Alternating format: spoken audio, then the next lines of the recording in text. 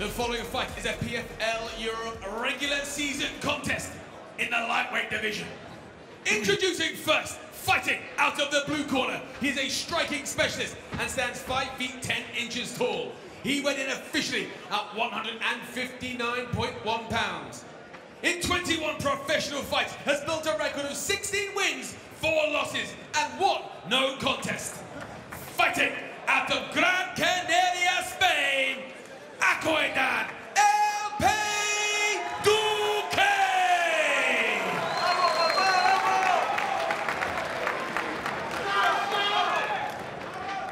And his opponent fighting out of the red corner. He is a striking specialist and stands 5 feet 11 inches tall. He weighed officially at 155.6 pounds and holds a record of 10 wins and a single loss. Fighting out of Riga, Latvia, Alex Pretty Boy Chizov!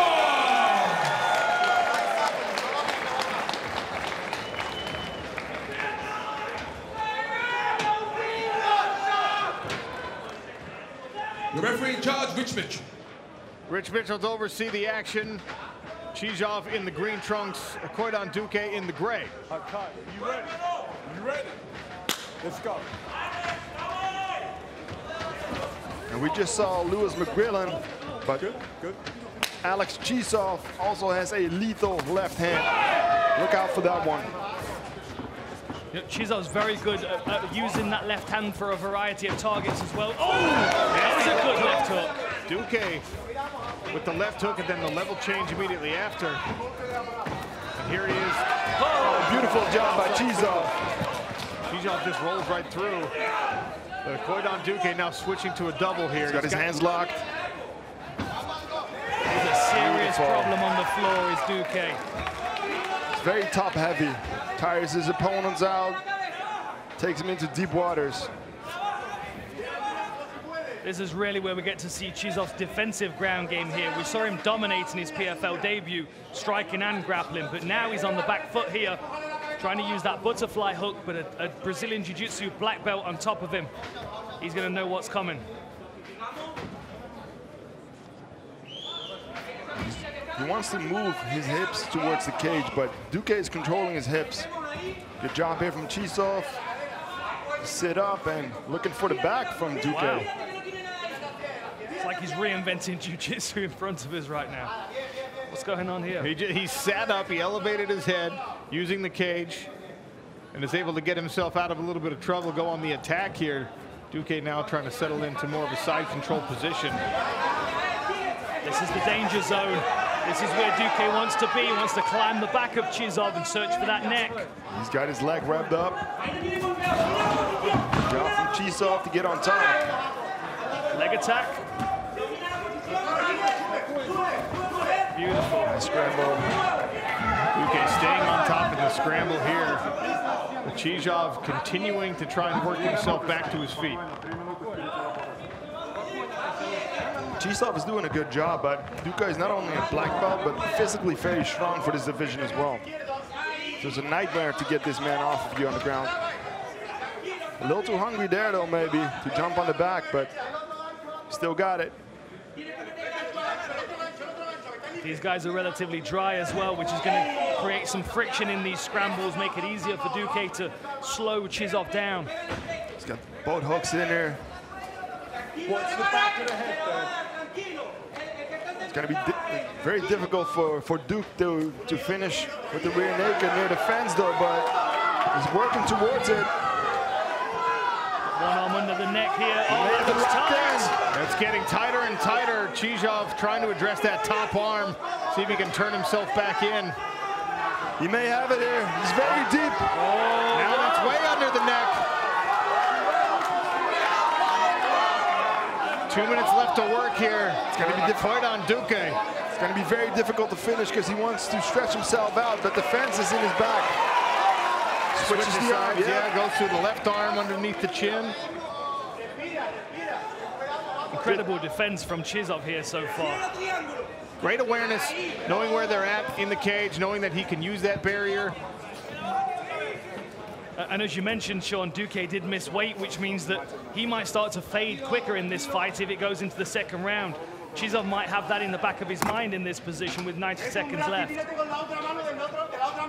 You always got to be careful when you have a, a, body triangle to not squeeze out your legs. I did that one time, and then I had two rounds left. Those were two very long rounds. Yeah, making your legs feel really heavy. Makes everything else more difficult if your legs are tired. There's that figure four. Going back to the rear naked. Now he doesn't have the fence in his back. Getting on top. This is tight again. Amazing. He's struggling to get it under the chin of Chizov, though. Against a lot of opponents, he has submitted them three times already. And every one of these failed attempts is a taxing on the back, the shoulder, the arm muscles of Acoidan Duque. If Chizov can survive the C round number two, we start to ask questions about the level of fitness on a guy who did not make weight. And if you're Chizov preparing for Duque, you must have done hours and hours of this, rounds of this in training camp, preparing for this rear naked choke attack, sub-defense the whole time. Definitely looks like that because his defense has been on point. Final few seconds of this first round. It's been all Acoidan Duque since he got on the back.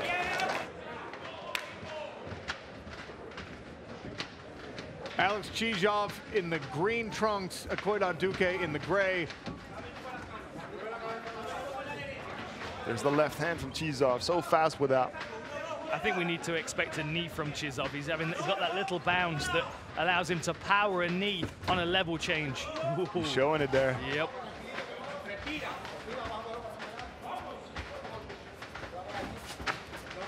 Duque is very patient though in all of his fights. When you watch him, he's he's really waiting for the right time. He's not taking any risks to, to run into a knee or whatever, waiting for the right time to take that to to get the takedown and then stay on top again, look for the submission. Nice right hand there, though. Look at the movement of Chizov's lead hand. This is why he lands his jab so well. He also has a really good left hook to the body, which we saw in his PFL debut, which I, I expect him to start working to this fighter.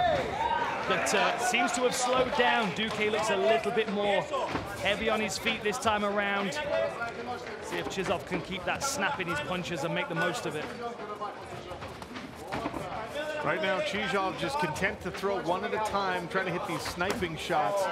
Big, nasty left kick to the left, I should say. Left leg of Chizov. He goes high. It only takes a couple of calf kicks to destroy that leg, take away all the movement from your opponent.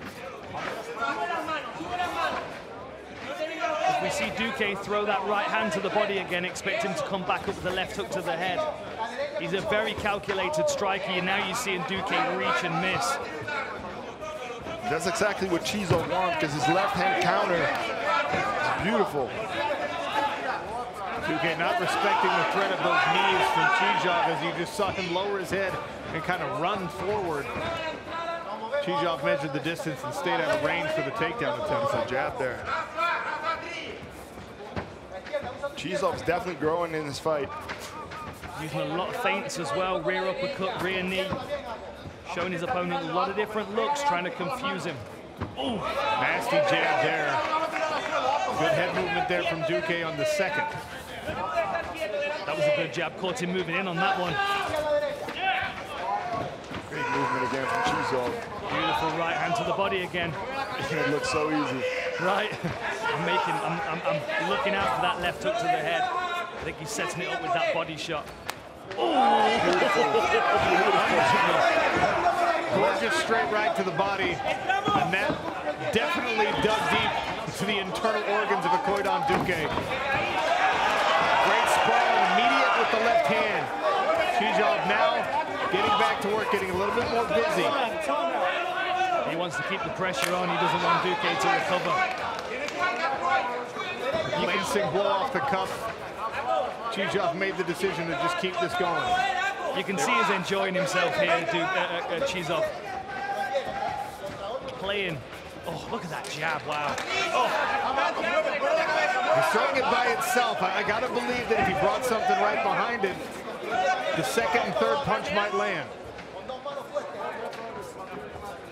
Yeah, I have to agree with you. I think it's going to be the second or third punch that gets through to Duque. He certainly softened him up with that right hand to the body, but I think it's going to be the combination that gets the job done. But he's got to be careful that Duque doesn't level change when he steps into commit, because he was tangled up for almost the whole round in the first.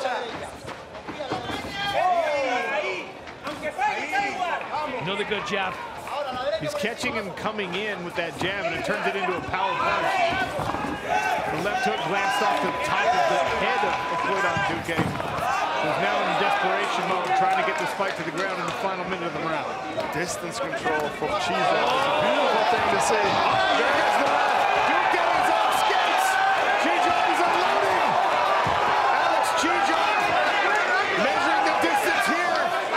25 seconds to work. Potentially saving himself in this fight. He was in serious, serious trouble. You can take away potentially because that finish is right there. Yeah, absolutely. The timing from Duque though, that's that's that's what he does in all his fights. You wait for the right moment. But 20 seconds to work. You've got to think Chizov's going to feel confident that he's won this round if he just gets to the end and starts the third even stronger. Yeah, there's not not enough control time for Duque to win this round. And you know, again, he loses a point because he missed weight. So Chizov is ahead right now. Good point. Round two, all Alex Chizov until those final 30 seconds. Certainly the judges are going to score round two in the favor of Chizov. So Acoidan Duque probably going to need a finish here if he wants to guarantee himself a win. Two great leg kicks from Duque to start the round. I think that's definitely something his his corner told him. Because Chizov is standing on that front leg. It's it's available to be kicked. I feel like Chizov's starting to wait on that knee again. He tried the uppercut on that takedown and cleanly, which is why, oh, there it is again. It's why Duque was able to finish the takedown, but Chizov keeps bouncing, lowering his level. I expect that rear knee to come through at any moment.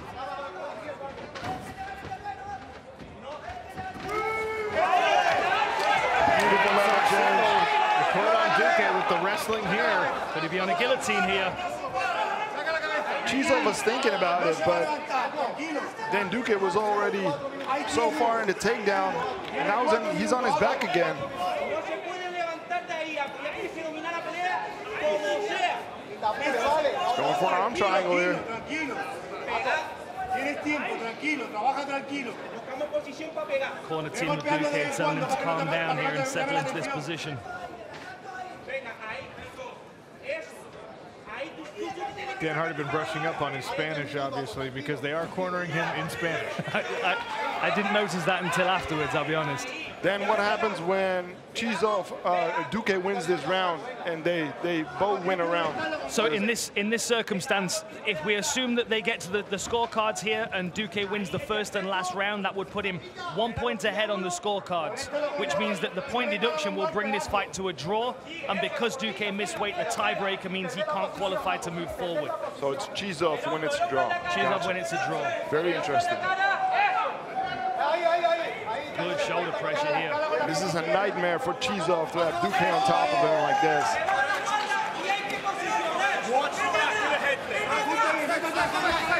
Good job control the wrist, but Duque's got the back.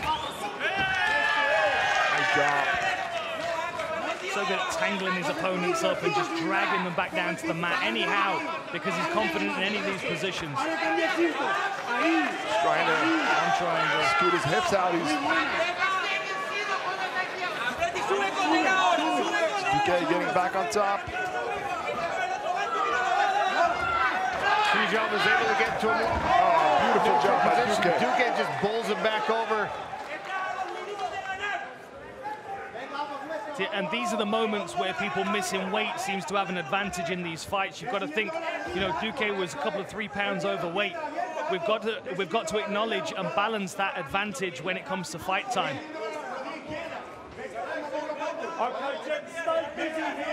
Referee calling for more action from the top position.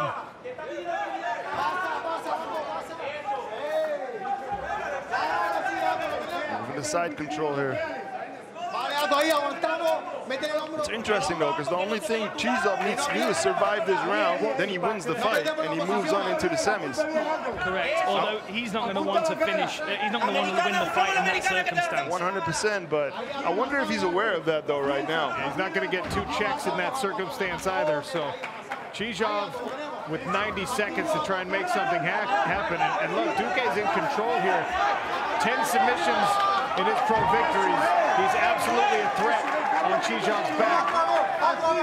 His fate is in his own hands if he can take it out of the judges' scorecard with a submission victory here.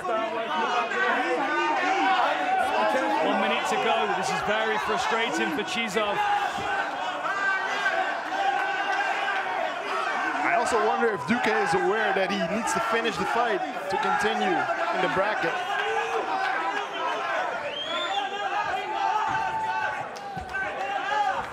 All of the rules were Beautiful explained to takedown these again. fighters. Yeah, it's beautiful. All of the rules were explained to these fighters, so Duque may even feel pressure to get a finish here just to make sure he can progress to Paris. The other thing we have to consider that that second round may well have been scored a 10-8, given the fact that it was very one-sided.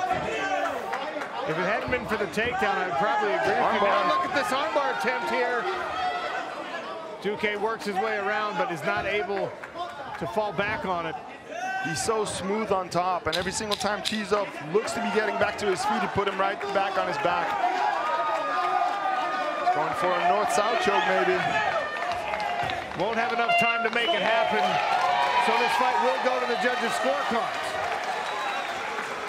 After three rounds of action, we go to the judges' scorecards. Earlier this week, Duque missed weight and came into this contest with a one-point deduction. Bearing that in mind, the judges scored this bout 28-28, declaring it a unanimous draw. But advancing to the PFL Europe Play.